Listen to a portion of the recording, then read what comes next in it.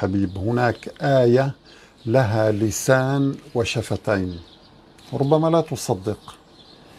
هذا ما أنبأنا به النبي عليه الصلاة والسلام وهو الذي لا ينطق عن الهوى. استمع معي أولا لهذا الحديث العجيب. ودعنا نتأمل هذه الآية العظيمة نتدبرها نتدبر عظم هذه الآية. ونتدبر الحكمة من هذا الحديث الشريف. النبي عليه الصلاة والسلام يقول لسيدنا أبي بن كعب رضي الله عنه يا أبا المنذر أتدري أي آية من كتاب الله معك أعظم؟ قال الله ورسوله أعلم.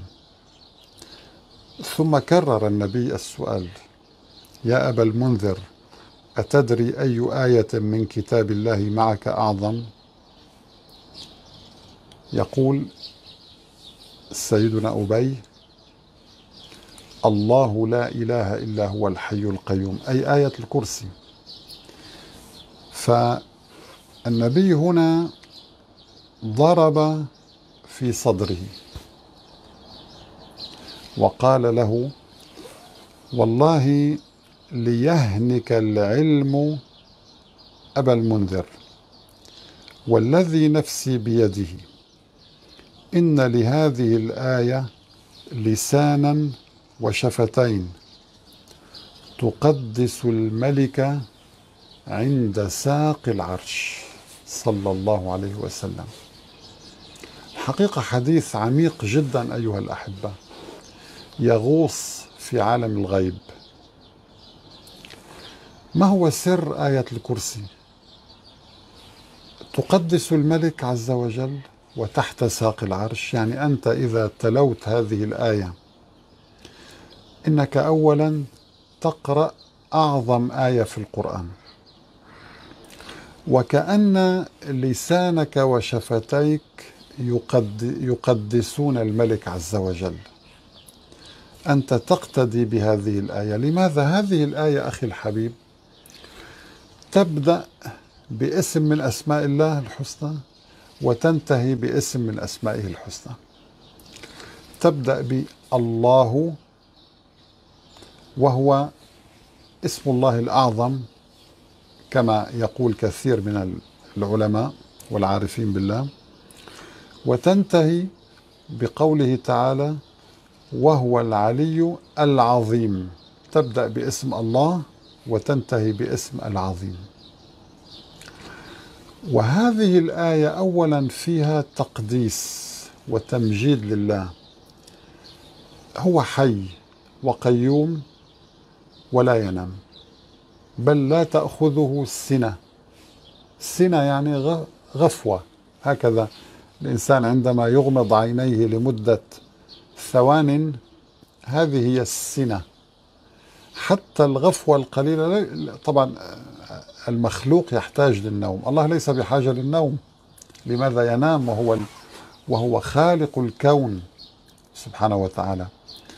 الكائنات إذا بقيت من دون نوم لأيام أو لأشهر تموت.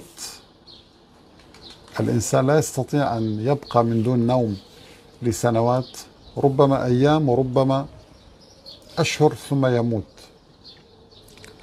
تضطرب وظائف الجسد. لذلك نحن بما أننا مخلوقون فنحن بحاجة للنوم. الخالق لا يحتاج للنوم فلا تأخذه سنة ولا نوم وهو الحي لا يموت. الموت يجري على كل المخلوقات بما فيهم الملائكة. يقوم على شؤون الكون. قيوم قائم بشؤون الكون. لا تظن أن فلان هو الذي يتصرف أو فلان أو فلان أو لا تظن أن الشمس هي التي تعطي هذا النور من تلقاء نفسها. هي بأمر من الله. الله يقوم على عليها. يدبر أمرها. يدبر الأمر سبحانه وتعالى. فمن الطبيعي أن يكون كل شيء هو لله له ما في السماوات وما في الأرض. وكل الخير بيده كل شيء بيده. لا من ذا الذي يشفع عنده إلا بإذنه؟ من يستطيع أن يصيبك بخير بسيط أو شفاعة بسيطة إلا بإذن الله؟ فإذا هذه الآية تربطك مباشرة بالله عز وجل. فهنا أخي الحبيب عندما تقرأ هذه الآية يجب أن أن تتفكر في أسرارها في معانيها. والله أنا هذه الآية أقرأها منذ زمن طويل سنوات طويلة عشرات السنين. كلما قرأتها أكتشف معنى جديد ملمح جديد. كلما قرأتها كل مرة لأنني أقرأ قراءة تدبرية. ليس مجرد أن أقرأ لا بل أفكر. وهكذا كان النبي عليه الصلاة والسلام وهكذا كان الصحابة الكرام. لذلك ملكوا الأرض وكانوا سادة العالم. من ذا الذي يشفع عنده إلا بإذنه؟ يعلم ما بين أيديهم وما خلفهم. لا تظن أن من يمكر بك لا يعلمه الله. الله يعلمه. لا تظن أن من, من يريد بك شرا لا يعلمه الله. الله يعلمه. يعلم ما بين أيديهم وما خلفهم ولا يحيطون بشيء من علمه إلا بما شاء. لا تظن هذه الاختراعات أنها من إرادة البشر لا هي بأمر من الله. فيروس كورونا دوخ العالم والعلماء ولم يجدوا له علاجا حتى الآن يعني. كلها لقاحات ومحاولات. ولكن علاج لا يوجد لأنهم لم يفهموا كيف يعمل هذا هذه المعلومة. لم يفهموا حتى الآن. وبالتالي آه، يعني الله لم يرد أن يجدوا هذا العلاج. ولا يحيطون بشيء من علمه إلا بما شاء. هذا الملك وسع كرسيه السماوات والأرض. السماوات يعني نحن أبعد مجرة مكتشفة تبعد بحدود ثلاثة عشر سنة ضوئية أو ثلاث عشرة سنة ضوئية. يعني الضوء يحتاج أن يمشي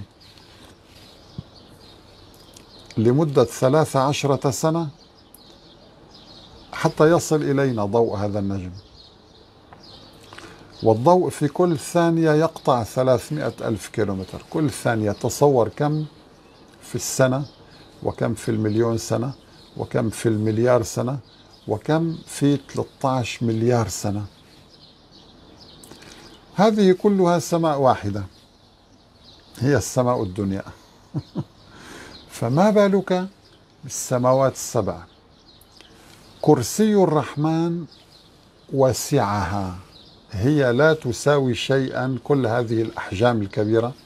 ليس لها حجم أمام كرسي الرحمن وسعها وفوقه العرش رب العرش العظيم سبحانه وتعالى. طيب هذا الإله تتركه وتلجأ للعباد أو تلجأ لنفسك.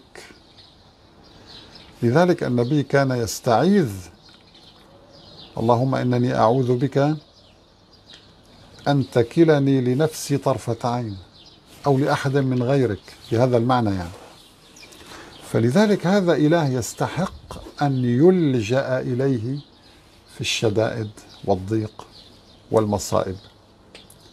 وسع كرسيه السماوات والأرض.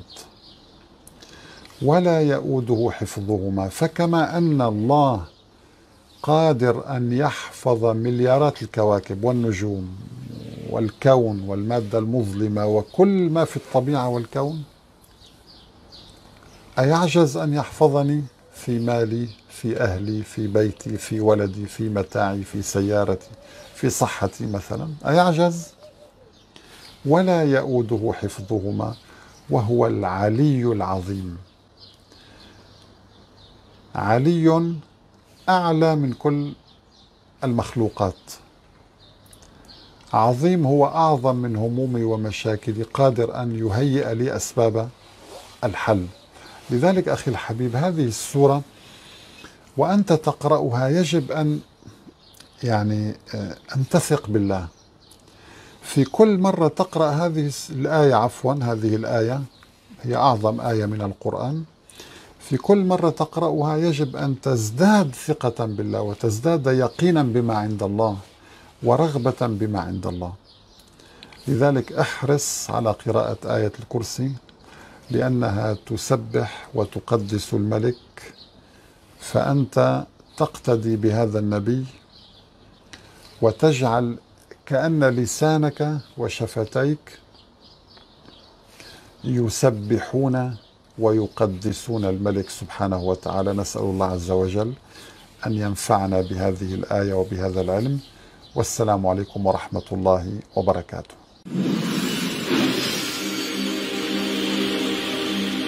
حتى يتبين لهم أنه الحق.